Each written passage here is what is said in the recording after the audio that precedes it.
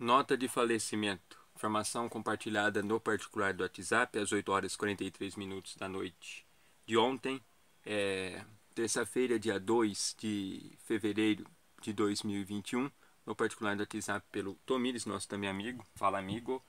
E o sepultamento seria hoje, no velório, acho que das 8 horas da manhã até as 10 de hoje, quarta-feira, 3 de fevereiro de 2021, no velório da Paz, não sei se em Ribeirão Preto.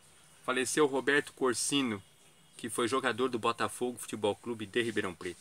Os nossos mais sinceros pêsames à família, nosso, as nossas até então condolências a vocês. Onde a notícia acontece, Fabiano Cavalari aparece. Tem mais, que na bota. Uou!